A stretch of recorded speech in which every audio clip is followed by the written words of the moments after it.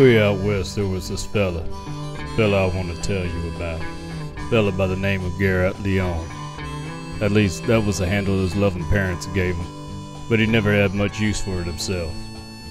This Leon, he called himself the Dude.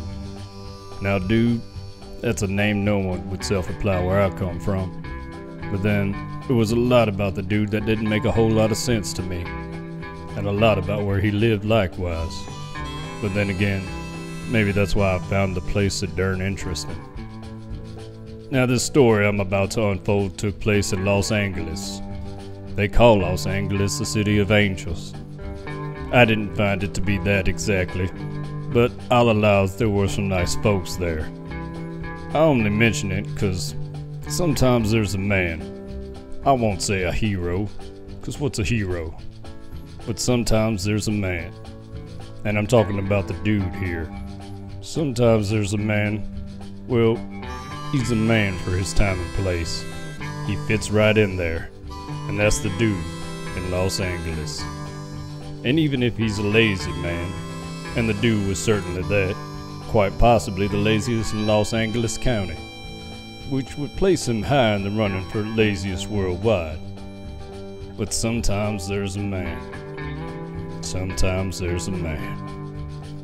Well, lost my train of thought here, but. Oh, hell. I done introduced him enough. Garrett here from Garden First Cannabis. I'm a grower, a music junkie, and an avid outdoorsman. I'm always looking for new ways to better myself and my garden. Join me as we go behind the scenes to meet the incredible people behind today's most successful cannabis brands and hear the stories of their journey. This is Deep Roots.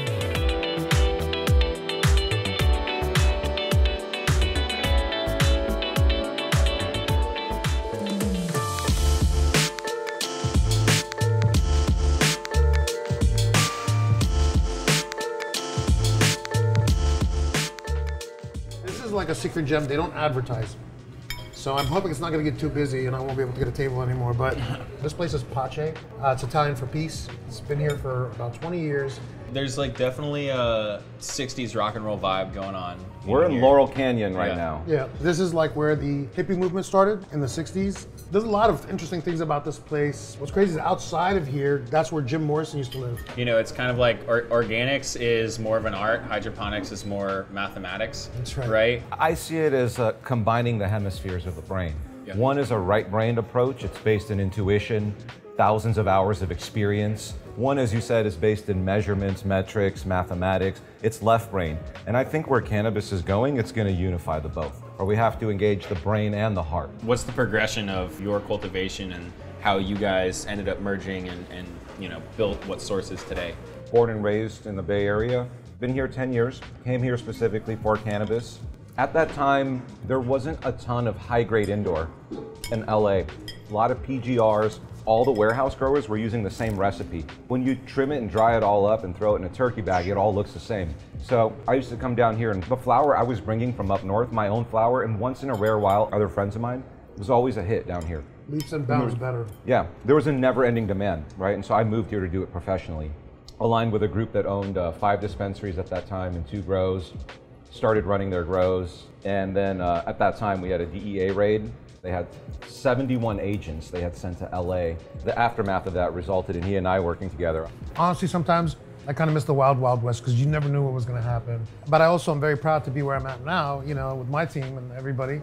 The reason we did legalization is because we didn't want what we had built in the past to just vanish. Right. Like we were talking about, like recipes that nobody makes anymore because they're difficult, right? Yeah. Like this is good food.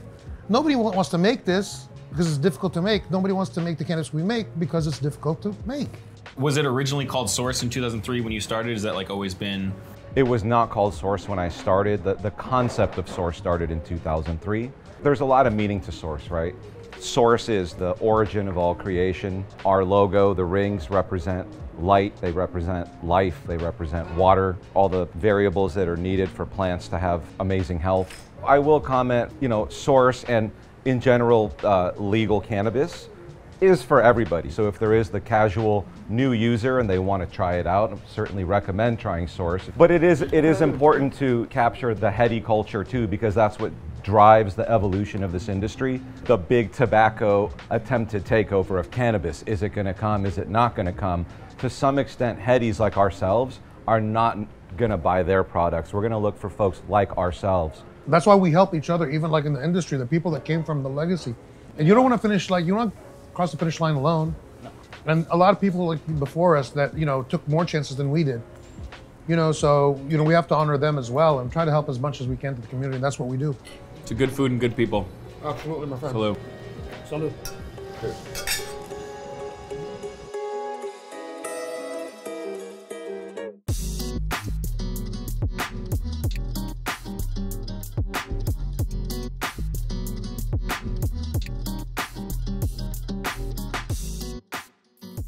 So uh, we're here in your guys' mother room. It looks like you move a few phases of plants through. When are you actually cutting off of these moms? Are, are these the backup genetics to cut off of young plants, or are you moving the young ones through to cut off of the older ones? That's right. We move the young ones through to cut off the older ones. These in front of us are typically about a month old, maybe a month and a half, you know, four to six weeks. Back there, you have moms that are more in the two to three to four month range. We believe that by keeping them in veg that long, the genetics are able to be optimized once we cut clones. They produce great roots. So obviously, plant health throughout the cycle is important, but it all starts with the healthier moms. Um, so what are you using, particularly in an organic system, to make sure that uh, the plants are at their optimum health, getting ready to be cut into clones? We like to use Full Power and Silica by BioAg. They're two great products. They're clean, consistent, minimize the use of pesticides and herbicides, and there are no heavy metals. It is a liquid product and it really aids the nutrients in latching onto the roots and for better uptake into the plant. So obviously there's equipment failures, things go wrong, stuff goes down, uh, and occasionally in an indoor garden anywhere, you're gonna have things fall out of range of, of where you really want them. Uh, how are you preventing that from causing stress on the plants, especially in a room this important? That's where the silica product really comes in. It allows for abiotic and antibiotic stress reduction. And from that stress reduction in particular, you get heat and drought resistance. That makes sense, particularly, I mean, you're running one gallon pots. Something falls out of range when they're six weeks old in a one gallon pot, that might dry out the roots pretty quick. That could be a game changer if you don't have the right stuff in the soil already. That it can be. And so the master grower's job is to ensure that never happens. Do you use a different soil blend for your moms, uh, or is it the same blend that you're using to move things through veg and flower? For ease of operation, we do use the same soil blend at all stages. The goal is to reduce the use of herbicides, pesticides, and fungicides so that we can be true to the mission and ethos of Source.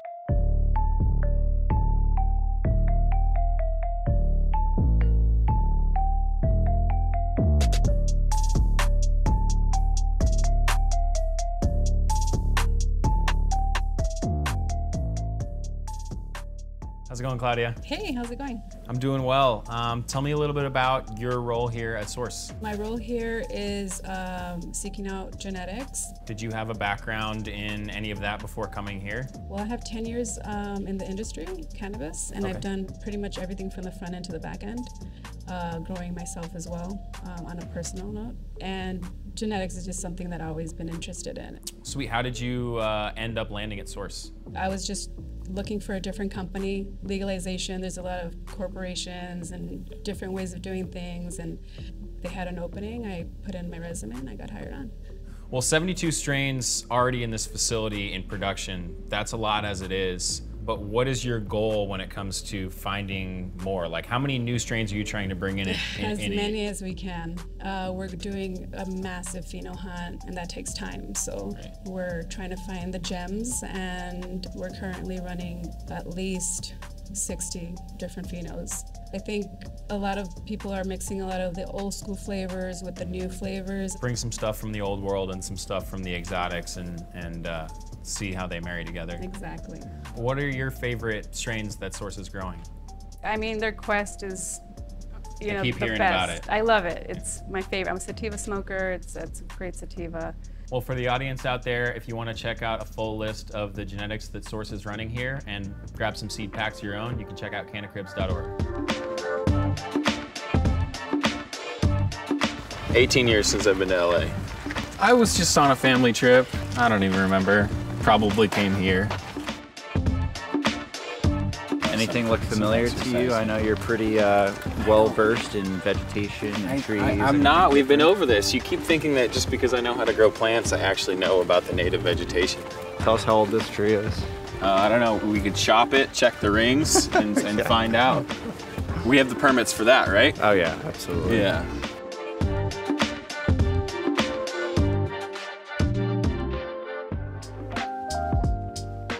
What's up, man? Hi, how's it going? I'm Garrett.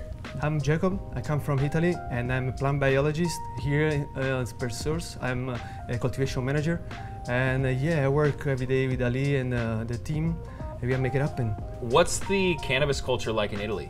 In Italy is pretty uh, slow, I can say. Uh, everything is uh, just coming out. Definitely, uh, we have uh, uh, CBD grows. For sure, uh, the THC is still uh, banned. That's why I moved here. I moved here to find a new world and hopefully Source uh, become my new family. Propagation and veg is definitely one of the most important jobs in the building, right? If you do your job right, the flower team's job's pretty easy. Absolutely, absolutely. Yeah, it's uh, really hard to keep uh, the health of the plants always uh, consistent and on point, but that's the goal uh, source. And uh, once we dial it in all the uh, veg plants, the mom plants, for sure the flowers they're gonna reach uh, the full potential. We're gonna have a high standard flower like we do. If you're shooting to have, say, 600 plants in a flower room, how many clones do you actually cut to get there? Uh, we cut uh, at least 1,000 clones.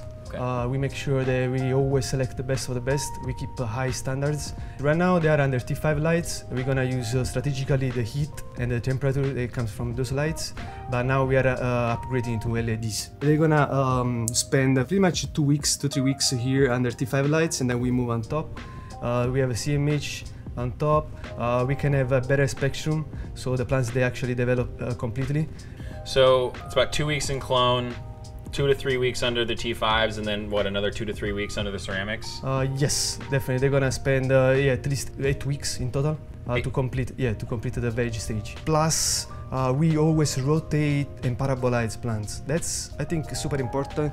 We make sure that uh, all the plants receive even light, so in this way they can develop completely, and uh, we have always even canopy.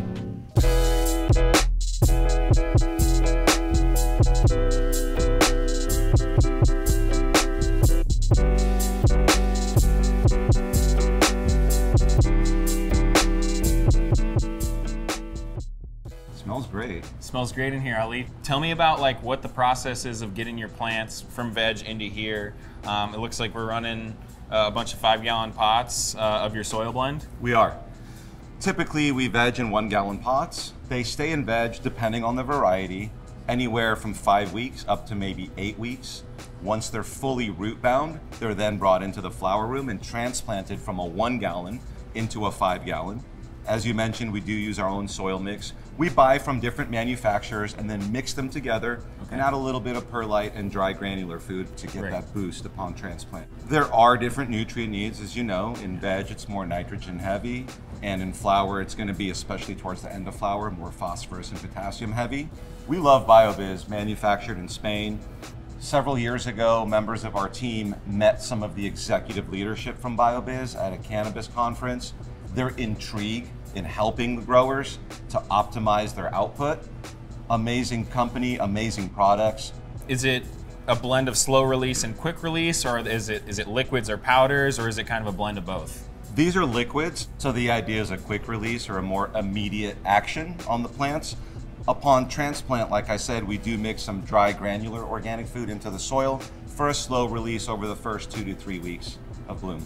You can use their products all the way through the entire cycle, um, from the time we transplant the clone all the way up until harvest or actually up until the flush. We try to flush for about three weeks.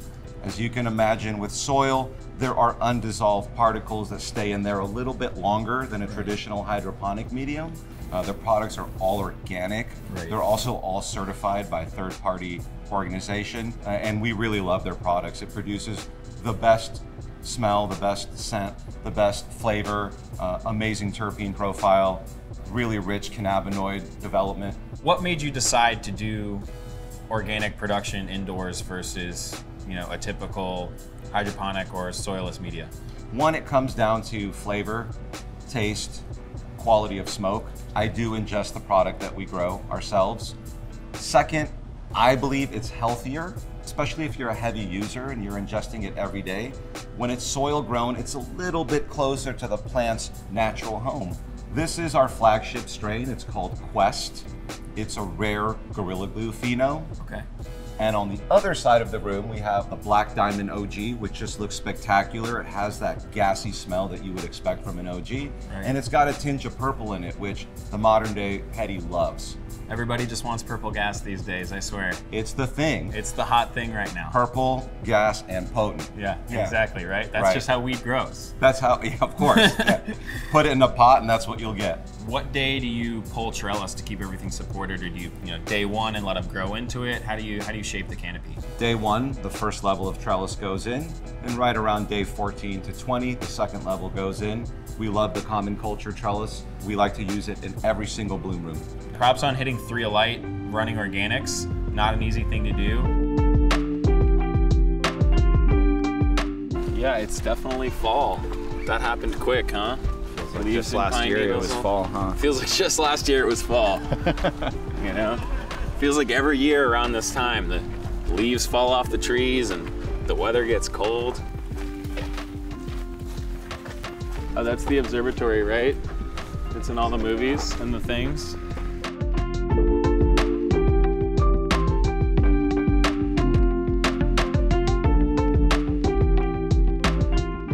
Foggy or is it smoggy? I don't know. Yeah, you can't really see much.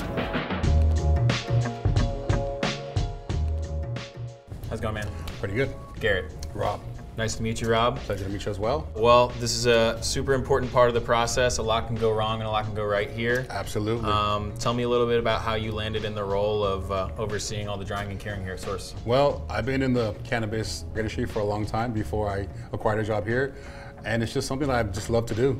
As soon as I got my role here, I moved up from the trimming department up to the post-harvest department, and that's where I'm at now.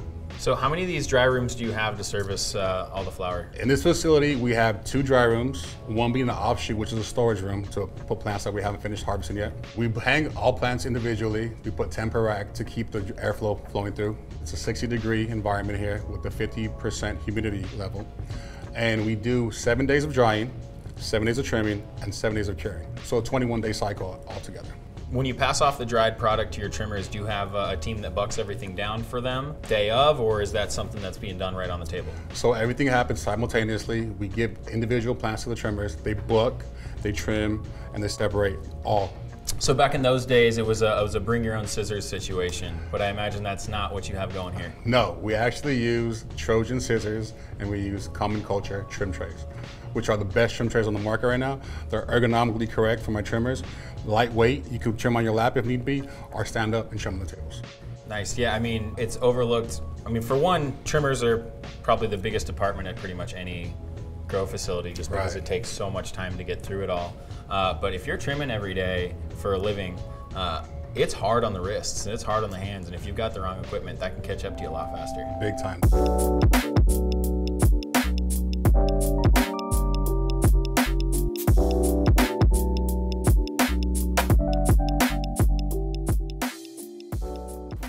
Summer, Molly, two of my favorite things, two of my favorite people here at Source.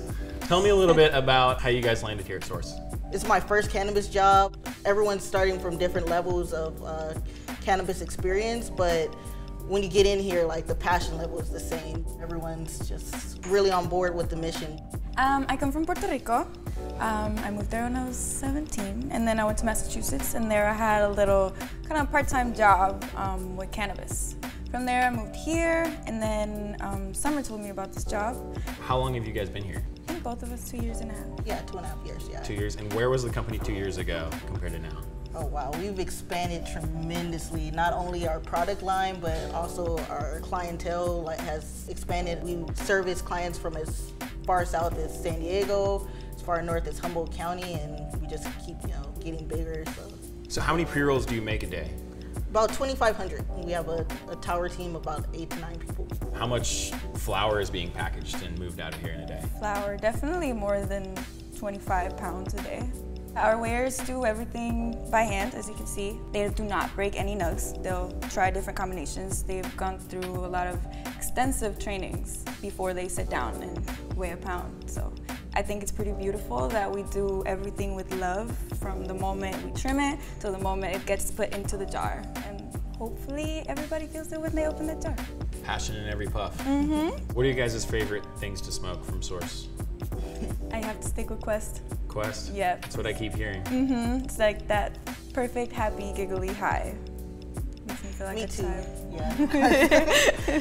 yeah, Quest is, is my favorite strain. It is not only my favorite strain that I've smoked, but it's also like my favorite strain to look at and when we're weighing out, it's just it smells smells like home. Well, I keep hearing about the Quest nonstop all day. Um, I'm super excited to go pick some up and uh, and try some with the rest of the crew. Excited for you guys to try it. Yeah, we really are. It's our pride and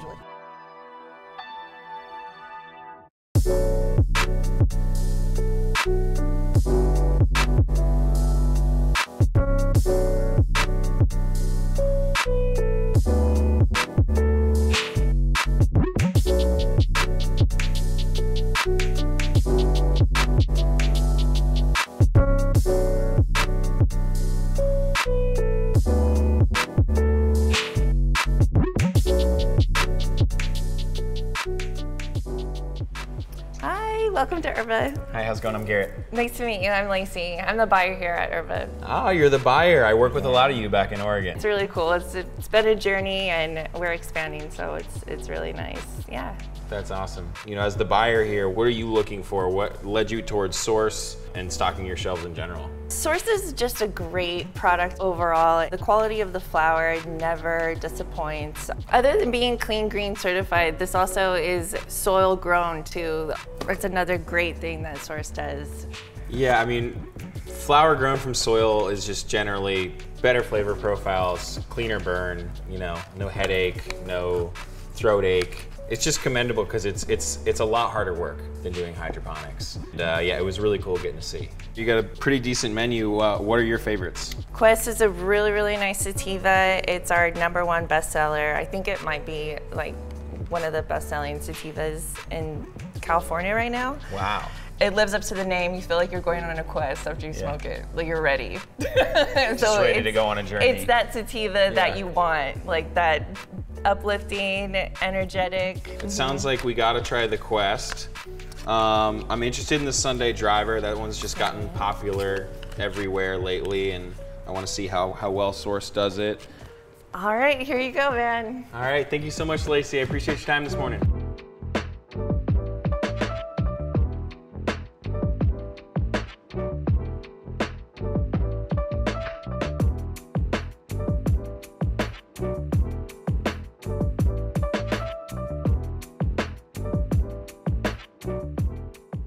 This is a beautiful rooftop you guys got here. Not a bad situation. Not at all. Great spot to hang out. What are we digging into today? We're digging into some dabs. We're digging into a bunch of different joints. What's up with the dabs? Well, this is strawberry cough. This is live rosin, and I, it's my favorite personally. I, it, and that's all we're going to be basically selling. Oh, here we go. See, once it dances like this, I got to hit it. Excuse me. Yes. Been keeping that strawberry cough cut alive for a long, long time, like near a decade. It's the original cut, you know, Yeah. it's the famous one, the only one really.